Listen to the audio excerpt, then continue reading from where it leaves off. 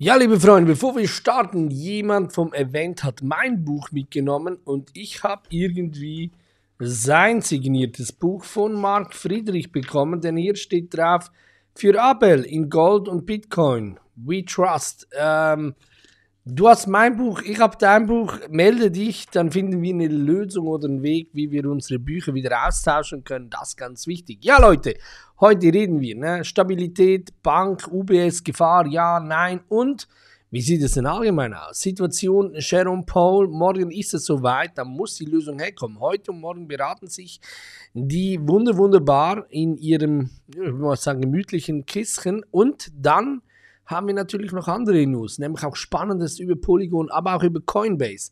Das Ganze heute in den News.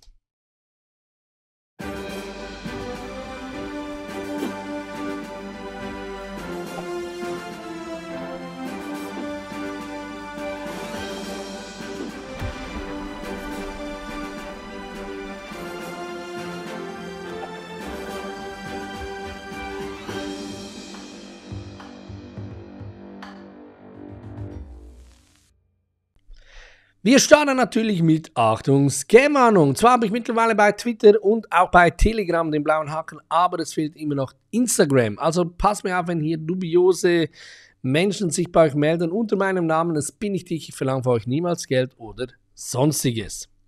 Wir sind bei 68 Punkten angelangt. Weiter also im Gear-Level. Ja. Wichtig aber auch für uns, wir haben noch 372 Tage bis zum Halving. Das bedeutet also nach dem Halving wird Bitcoin natürlich teurer geschürft und somit natürlich auch nochmals ein Preisanstieg sehen, wie wir es eben auch schon anno dazu mal gesehen haben. Die Nachfrage wird also dementsprechend steigen. Und dann eine wichtige News, CrowdSwap startet in 10 Tagen mit dem nächsten Sale, ja, und diesmal betrifft es Nexus. Ich muss ganz ehrlich sagen, habe Nexus nie wirklich großartig verfolgt.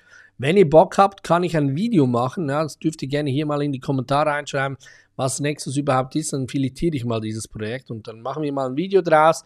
Dann überlegen wir uns, ob es auch cool wäre, hier zu investieren. Es wäre natürlich eine Möglichkeit.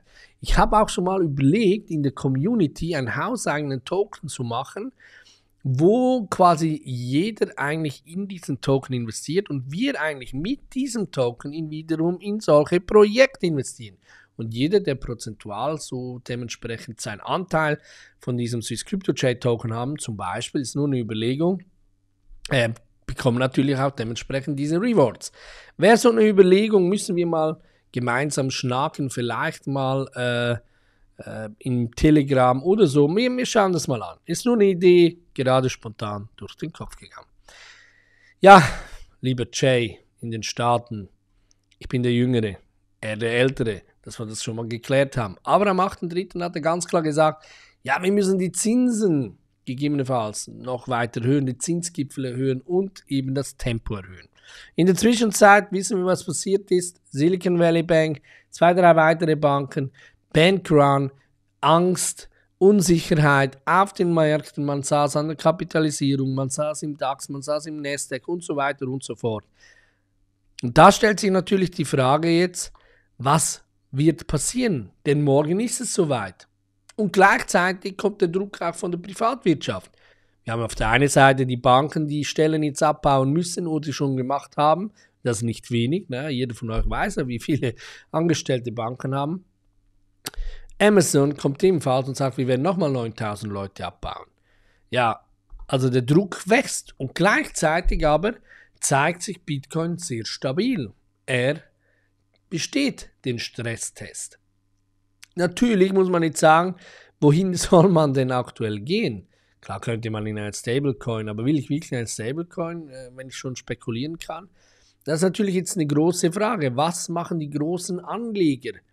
Was steht ihnen denn aktuell offen? Rohstoffe, natürlich, Gold, Silber, aber auch Gallium, Platin und so weiter und so fort. Sehr interessant. Denkt an Themen Global, alleine nur schon das. Und wo will ich denn sonst noch hin? Es wird schwierig. Ja? Ihr, ihr seht, wir, wir, wir stehen an einem gewissen Punkt. wenn man Bitcoin natürlich jetzt anschaut, die letzten drei Monate hat Bitcoin sehr schön performt. Na okay, der Februar sollte man wirklich nicht grün, den müsste gelb sein, denn 0,03 ist 0, 0 Runde, okay. Ähm, nichtsdestotrotz äh, sagt man in der Regel drei aufeinanderliegenden Monate, die besser abschließen, grün abschließen, äh, geben uns den Takt für den Bullenmarkt vor. Jetzt den Februar würde ich tatsächlich hier jetzt ausschließen. Also haben wir auch beim März wieder beim ersten Monat begonnen. Und der März ist aber auch noch nicht fertig. Da lauern natürlich noch die ein oder andere Gefahr da draußen, dürfen wir auch nicht vergessen. Aber für die Hodler da draußen ein ganz wichtiger Chart. Dieser Chart unter anderem nutzt auch Marc Friedrich, hat er in seinem Vortrag bei mir am Event ganz klar gesagt, wenn man in der grünen Box unten ist, ne, mit der 2 Jahres Moving Average, dann kauft er, dann wird akkumuliert. Wenn wir oben in der roten Linie treffen mit dem X5, dann verkauft er jeweils wieder. Also das ist seine Strategie. Darunter kann man natürlich immer wieder die Fibonacci-Tools nutzen, um neue und spannende äh, Einstiege zu planen. Ne? Ganz, ganz wichtig. Weil wir haben, meiner Meinung nach, immer noch eine Gefahr offen. Dass wir, wir, wir Menschen sind Spezialisten, etwas zu verdrängen. Corona wurde sehr schnell verdrängt. Warum? Ja, kam ja die Finanzkrise. Ja? Und ich sage euch eins, die Bankenkrise wird auch irgendwie verdrängt mit der Immobilienkrise und, und so weiter und so fort. Irgendwann wird alles verdrängt. Ne? Irgendwann sind wir einfach nur noch stehen. Ich glaube, ich glaube, wir werden Zombies ohne ein Virus, weil einfach unser Hirn matsch wird. Irgendwie so in die Richtung. Ne? Aber wir haben immer noch Grayscale. Ne? Das ist immer noch da. Also wir reden hier von 629.000 ähm, Holdingbestand von Bitcoins. Aber man darf auch sagen, sie haben jetzt stetig immer wieder verkauft. Ich gehe stark davon aus, dass sie ihre Anlagen abschreiben. Das sieht man anhand von der äh, Linear, äh, relativ linear, wie wir den Bestand abbauen sind. Das heißt, sie minimieren aktuell ihr Risiko durch ihre Anlageabschreibung, die sie monatlich machen, um ihr Ergebnis zu verschönern, also nicht verschönern, um es nicht zu stark zu belasten. Nichtsdestotrotz würde das wahrscheinlich x Jahre dauern, bis sie unten angekommen sind. Sie rechnen wahrscheinlich mit einer Kreuzung. Irgendwann, wenn es einen Cross gibt, ihr Bestand gegenüber dem Bitcoin, dann sieht es natürlich ein bisschen anders aus. Nichtsdestotrotz müssen wir da immer noch die Augen aufhalten, denn das könnte natürlich nochmal eine massive Kehrtwende geben für Bitcoin. Ja, und dann haben wir natürlich wieder mal Exchange-Stress. Ne? Obwohl der Stress hier irgendwie völlig lächerlich ist. Es geht um Coinbase. Coinbase bittet das oberste Gericht um zwei Sammelklagen ein bisschen auszusetzen. Das sind also wenn man das ein bisschen liest, frage ich mich teilweise, dass es auch solche Sammelklagen geben kann. Ja, und daran geht man natürlich Sammelklage, ja, Coinbase hat ähm, hier ganz klar Wertpapier, registrierte Wertpapier verkauft. Ne? Das ist mal das eine. Das andere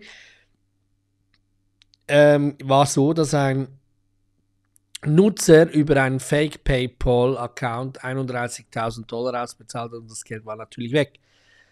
Da frage ich mich, was hat Coinbase damit zu tun? Aber naja, spielt keine Rolle. Es ist, wie es ist. Auf jeden Fall äh, hängt der Coinbase gerade ein bisschen in der Luft. Die wollen das separat, bilateral lösen mit den Leuten, ohne dass es jetzt hier zu einem sinnlosen äh, Gerichtsstand kommt. Ne? Ganz, ganz wichtig, einfach auch nochmal kurz für euch, es ist nicht ganz so tragisch. Was hingegen mega ist, ist Immutable und Polygon Labs schließen sich zusammen, um das Web3 Gaming Ökosystem zu erweitern.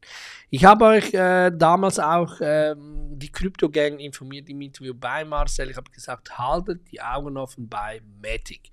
Ah, da hauseigene Polygon-Netzwerk. Er ist so interessant und spannend, ich kann es nicht mehr andeuten. Und ich glaube auch, dass dieses Ökosystem wahrscheinlich eines der besten Performer sein wird im nächsten Bullenmarkt.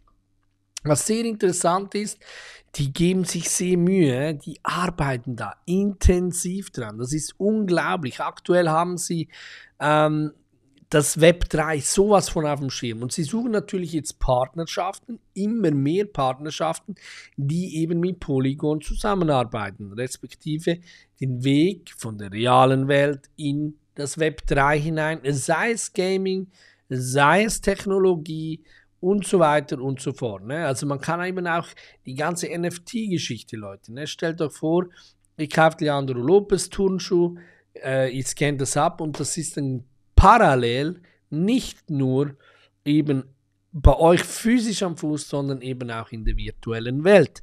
Ja, mein, mein Schwager hat mich gerade gefragt, gestern war der Geburtstag meines Neffen, hat mich gefragt, hey Jay, wie muss ich mir das vorstellen? Ich sage, ja, relativ einfach, auch so, so dumm es klingt, ist es so.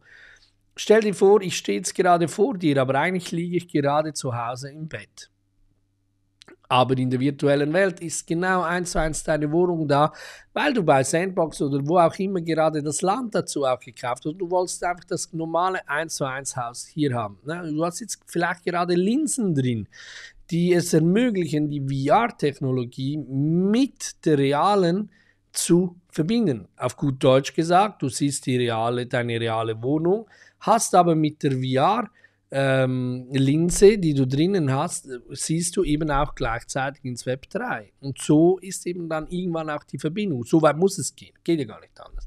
Die Frage ist nur, wer stellt diese Linsen her? Hm, große Fragezeichen, habe ich schon mal ein bisschen was reingeteasert. So, ja, und eben was spannend ist, dass eben Polygon unter anderem eben mit Reddit, das größte Online-Forum der Welt, Starbucks und noch viele, viele andere spannende, interessante Projekte aufgestellt hat unter anderem eben auch für Final Fantasy, für die NFT-Stories. Also ihr seht, das entwickelt sich langsam, aber sicher rasant. Dazu kommt, und ich sage es euch jetzt schon, die künstliche Intelligenz. Das ist das, was zusätzlich kommt. Leute, macht euch bereit, wenn wir diese ganze Krise überstanden haben, mit Krise, Finanzen, IMO etc., wenn wir das überstanden haben und wieder uns fokussieren können aufs Reale, das, was wichtig ist, nämlich der Fortschritt der Menschheit, dann glaube ich, werden wir in den nächsten 10 bis 15 Jahren spannende Entwicklungen sehen in Richtung Web 3. Also informiert euch darüber unbedingt intensiv.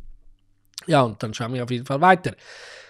Ja, jetzt bin ich durch. Wir sehen uns gleich in der Chartanalyse. Da bauen wir nämlich die News wieder mal ein bisschen rein, denn der Schema Paul wird ja morgen seine Entscheidung treffen. Ich rechne damit, dass er tatsächlich die Zinsen erhöhen wird. Naja, wir werden sehen, was das für Auswirkungen hat. Wir sehen uns, sage Tschüss aus Schweiz, blieb gesund und bis zum nächsten Video.